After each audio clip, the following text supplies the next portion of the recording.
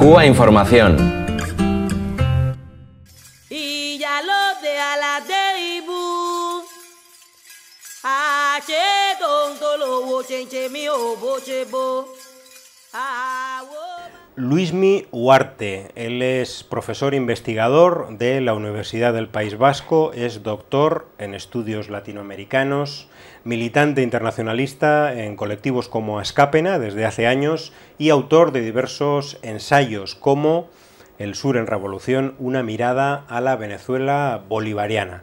Bueno, pues Luismi, bienvenido a, nuestro plato, Cuba Información. Gracias por vuestra invitación.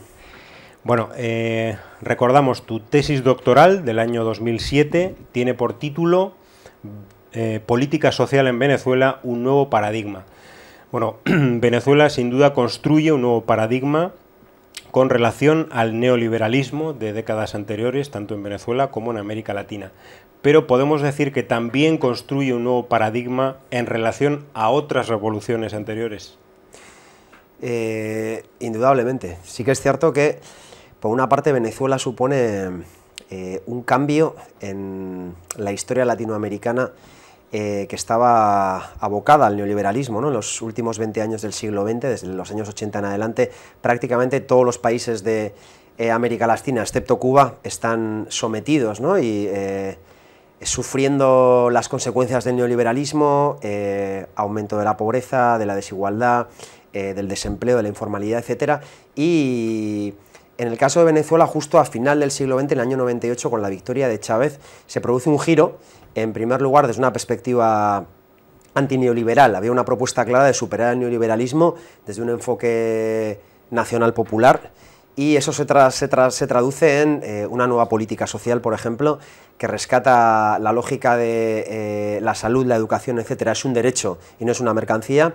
Eh, se amplía la cobertura, vuelve otra vez la gratuidad en los servicios sociales una fuerte inversión eh, de dinero público y, lo creo que eh, podría ser muy interesante o, novedoso es eh, la participación popular en, los programas sociales. Es decir, no solo es que el Estado asume una responsabilidad, sino que en términos de paradigma hay el aporte desde el concepto, digamos, de poder popular. ¿no? Es decir, la ciudadanía venezolana toma parte eh, se hace cargo, eh, toma la dirección, se hace protagonista de los programas sociales de salud, educación, etcétera, y eso le da, digamos, como un componente mucho más transformador a, ese proceso que comenzaba en ese momento, que tenía un carácter de, vamos a decir, reformista, de profunda reforma, pero, pero reformista, eh, pero que rompía con la lógica neoliberal de toda América Latina y que termina inspirando otra serie de procesos en América Latina a principios del siglo XXI. ¿no? Eh, por terminar la pregunta, el, gran aporte, digamos, en términos cualitativos o el cambio, ¿no? más allá de, la propuesta antineoliberal, es que del 2005 en adelante Chávez es eh, el presidente eh, de un país a nivel internacional que retoma, rescata la idea del socialismo. Es decir, el socialismo vuelve otra vez a ponerse sobre la mesa como una necesidad frente a el capitalismo como sistema que estaba devastando la humanidad y estaba devastando la naturaleza, y es el presidente venezolano Hugo Chávez quien tiene el coraje ¿no? de poner eh, la bandera del socialismo sobre la mesa y reivindicarlo como una vía para transformar la sociedad en función de las necesidades de, las grandes mayorías. Hablamos un poquito ahora de Cuba, si te parece, de Cuba y de su relación con Venezuela y otros procesos. Eh, bueno, cuéntanos, porque tú has estado en Cuba hace, hace unos años, tuviste una, experiencia interesante también. Eh, ¿Crees que este proceso de cambios, sobre todo en el modelo económico cubano, tiene que ver con influencias eh, recibidas, por ejemplo, del proceso bolivariano y al revés?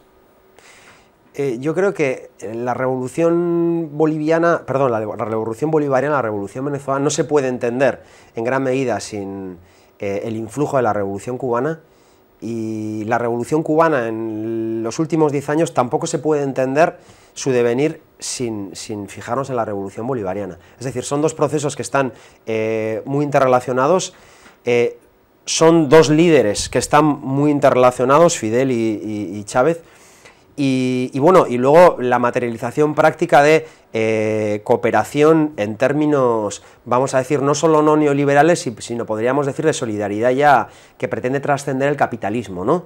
O sea, solidaridad internacionalista pura, es decir, eh, el aporte que ha hecho Cuba, que está haciendo en el marco de la política social, con miles y miles de cubanos y cubanas que están eh, apoyando la reconstitución de la política social en Venezuela, en salud, en educación, en deporte, etcétera, es clave, es fundamental.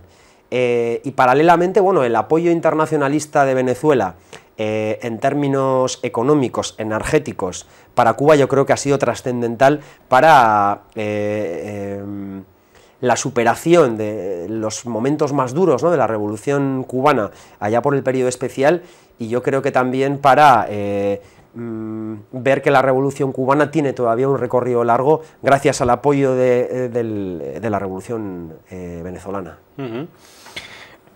has escrito un, un, libro hace poquito que se titula Las multinacionales en el siglo XXI, impactos múltiples, el caso de Iberdrola, esta multinacional de origen vasco, en México y en Brasil. Bueno, preséntanos un poco este, este último trabajo tuyo.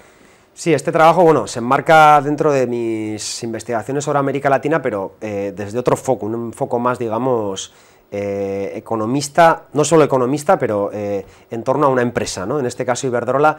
y, bueno, el objetivo fundamental ha sido intentar mostrar eh, los grandes impactos, los impactos múltiples y, severos ¿no? que provocan las grandes multinacionales y Iberdrola como una de esas grandes multinacionales. ¿Qué diría? Bueno, en primer lugar, que Iberdrola no es ni mejor ni peor que el resto de multinacionales, simplemente es otra corporación más dentro de el fenómeno de las multinacionales, entendiendo a estas como los agentes estratégicos del capitalismo hoy en día y por lo tanto una de las eh, de los agentes responsables de todo el proceso de saqueo público eh, y de concentración de la riqueza que estamos sufriendo. Eh, en el caso de Iberdrola, yo creo que era interesante desarrollar esta investigación porque mm, era una de las empresas, o es una de las empresas más hábiles desde el punto de vista de la propaganda y la publicidad. Se presenta como empresa que defiende el medio ambiente, que propugna energías renovables, limpias, etc. Y luego cuando te pones a investigar sobre ella te das cuenta de que esto está bastante lejos de la realidad.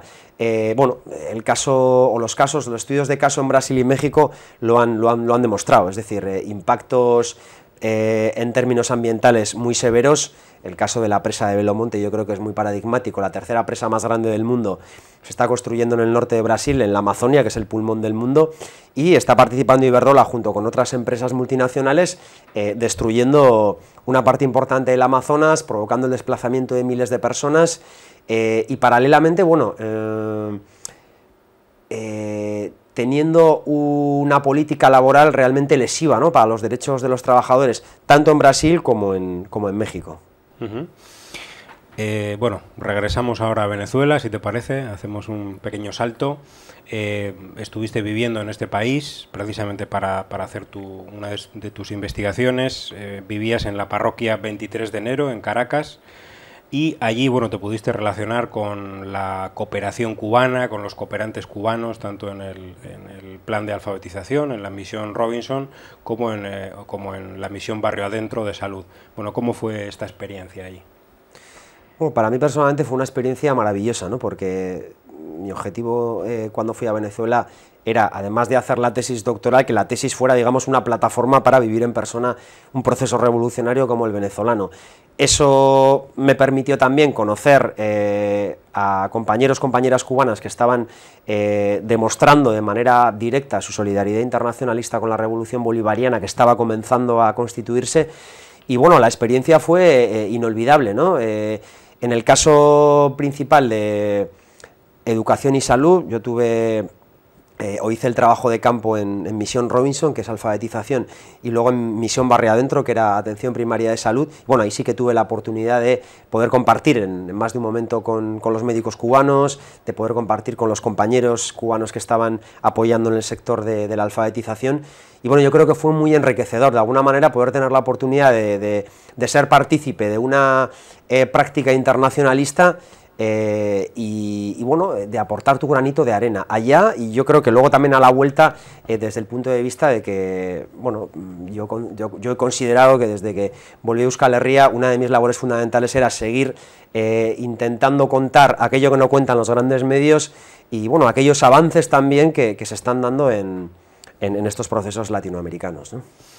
Eh, Luismi, ¿tú crees que la izquierda internacional, la no latinoamericana, está entendiendo por fin lo que está pasando en América Latina o existe mucho eurocentrismo, por ejemplo, desde la izquierda europea? Yo creo que, todavía hay una carga de eurocentrismo grande, ¿no? Eh, o sea, la, perspectiva esa etnocéntrica que a veces tiene eh, reminiscencias coloniales se mantiene. Se mantiene porque la izquierda europea ha tenido la eh, mala costumbre de querer siempre dar lecciones teóricas de revolución al resto del mundo.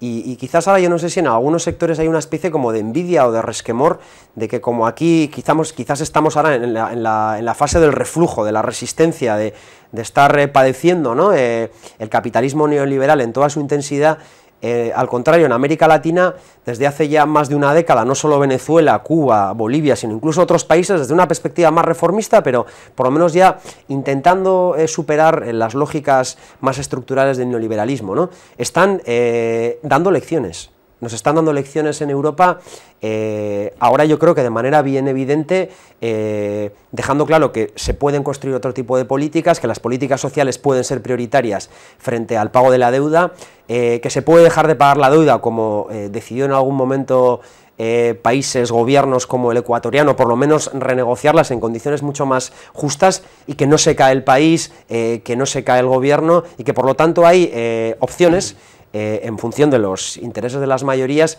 que pueden ser de alguna manera eh, válidas en América Latina, pero aquí también. ¿Cómo ves, eh, Luis, el futuro de tanto de la revolución bolivariana de Venezuela como de la revolución cubana? Yo veo un futuro, bueno, un futuro abierto, ¿no? con muchas posibilidades, con riesgos indudablemente, porque eh, los riesgos son externos, pero son también internos, ¿no? El enemigo interno es fuerte, eh, la dificultad del cambio cultural en términos de valores es difícil, en el caso venezolano es más evidente, pues por el peso que ha tenido los valores culturales del capitalismo, incluso del, modo de vida gringo, ¿no? Ha sido como muy intenso.